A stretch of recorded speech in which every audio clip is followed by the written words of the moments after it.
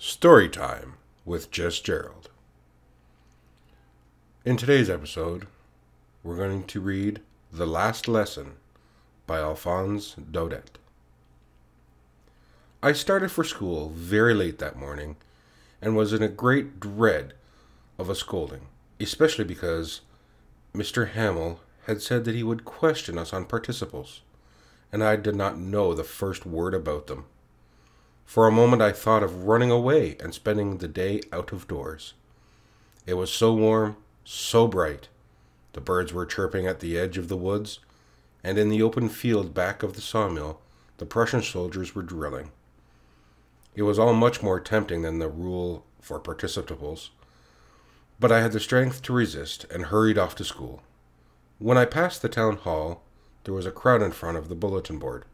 For the past two years, all our bad news had come from there the lost battles, the draft, the orders of the commanding officer.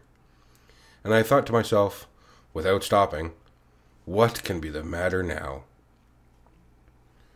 Then, as I hurried by as fast as I could go, the blacksmith, Wachter, who was there with his apprentice reading the bulletin, called after me, Don't go so fast, bub. You'll get to your school in plenty of time. I thought that he was making fun of me, and reached Mr. Hamel's little garden all out of breath. Usually, when school began, there was a great bustle, which could be heard out in the street, the opening and closing of desks, lessons repeated in unison, very loud, with our hands over our ears to understand better, and the teacher's great ruler rapping on the table. But now it was all so still. I had counted on the commotion to get my to my desk without being seen.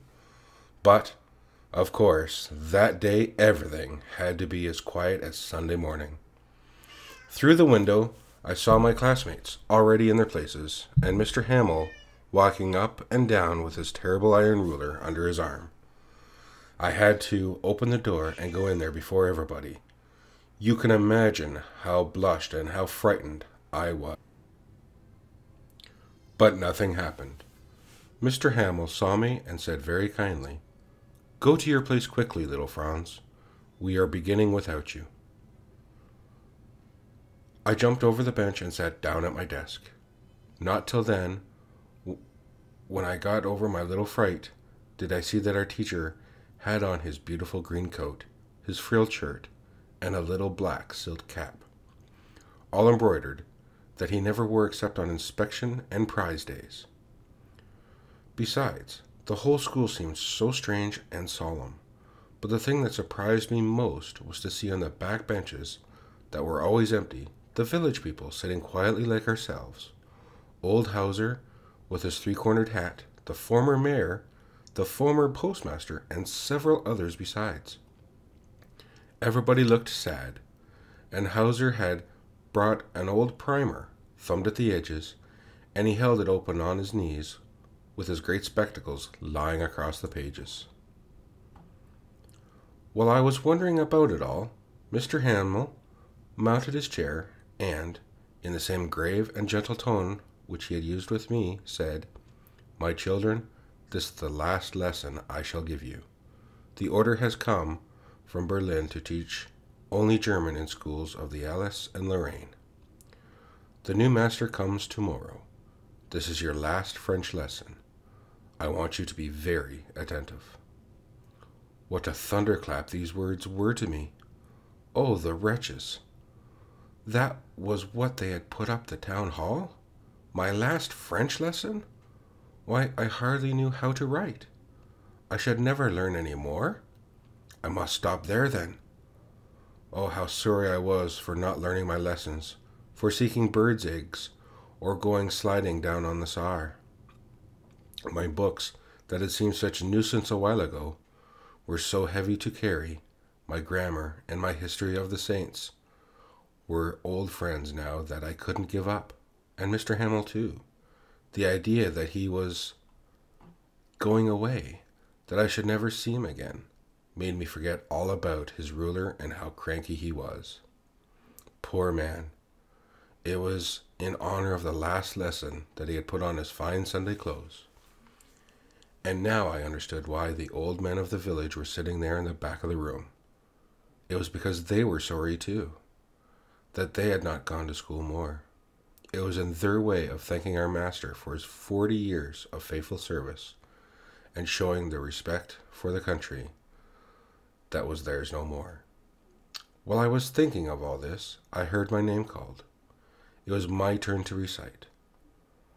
What would I have not given to be able to say without a dreadful rule for the participle all through, very loud and clear, and without one mistake? But I got mixed up on the first words and stood there, holding on to my desk, my heart beating, and not daring to look up. I heard Mr. Hamel say to me, I won't scold you, little Franz. You must feel bad enough. See how it is. Every day we have said to ourselves, Bah, I've plenty of time. I'll learn it tomorrow. And now you see where we've come out. Ah, that's the great trouble with Alsace. She puts off learning till tomorrow. Now those fellow out there will have to write to say to you, How is it you pretend to be Frenchmen, yet you can neither speak nor write your own language? But you are not the worst, poor little Franz. We've all a great deal to reproach ourselves with. Your parents were not anxious enough to have you learn. They preferred to put you out to work on a farm or at the mills, so as to have a little more money. And I, I've been to play 'em also. Have I not often sent you to water my flowers instead of learning your lessons? And when I wanted to go fishing, did I not just give you a holiday? Then, from one thing to another, Mr. Hamel went on to talk of the French language, saying that it was the most beautiful language in the world, the clearest, the most logical, that we must guard it amongst us and never forget it. Because when a people are enslaved, as long as they hold fast to their language, it is as if they had the key to their own prison. Then he opened a grammar and read us our lesson. I was amazed to see how well I understood it. All he said seemed so easy, so easy.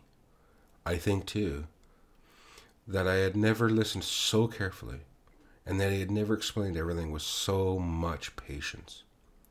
It seemed almost as if the poor man wanted to give us all he knew before going away, to put it all in our heads at one stroke.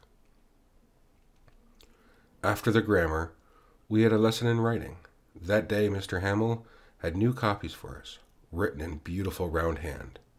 France, Alsace, France, Alsace. They looked like little flags floating everywhere in the schoolroom, hung on the rod at the top of our desks. You ought to have seen how everyone set to work, and how quiet it was. The only sound was the scratching of pens over the paper. Once some little beetles flew in, but nobody paid any attention to them, not even the littlest ones who worked right on tracing their fishhooks, as if that was what French too. On the roof the pigeons cooed very loudly, and I thought to myself, will they ever make them sing in German, even the pigeons? Whenever I look up from my writing, I saw Mr. Hamel sitting motionless in his chair, and gazing first at one thing, then another, as if he wanted to fix in his mind just how everything looked in that little schoolroom. Fancy, for forty years he had been there in the same place, with his garden outside the window and his classes in front of him, just like that. Only the desks and benches have been worn smooth, the walnut trees in the garden were taller, and the hop vine that he had planted himself twined about the windows to the roof. How it must have broken his heart to leave it all, poor man, to hear his sister moving about in the room above, packing their trunks for they must leave the country the next day. But he had the courage to hear every lesson to the last. After the writing, we had a lesson in history, and then the babies chanted their ba, bee boo boo. Down there at the back of the room, old Hauser had put on his spectacles and, holding his primer in both hands, spelled the letters with them. You could see that he, too, was crying. His voice trembled with emotion, and it was so funny to hear him say that all we wanted to laugh and cry. Ah, how well I remember it, that last lesson. All at once the church clock struck twelve, and then Angelus. At the same moment, the trumpets of the Prussians, returning from drill, sounded under our windows. Mr. Hamel stood up, very pale, in his chair. I never saw him look so tall. My friends, said he, I, I. But something choked him. He could not go on. Then he turned to his blackboard, took a piece of chalk, and bearing on it with all his might, wrote as large as he could, Viva la France! And then he stopped, leaned his head against the wall, and without a word, made a gesture to us with his hand. School is dismissed. You may go.